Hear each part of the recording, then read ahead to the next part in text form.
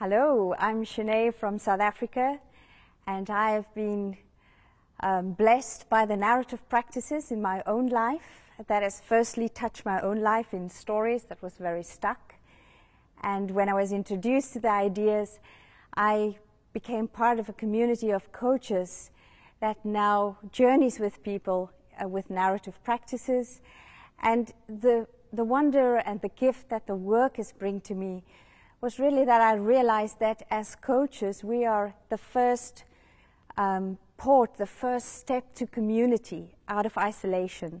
Some of the people that I journey with are immensely lonely.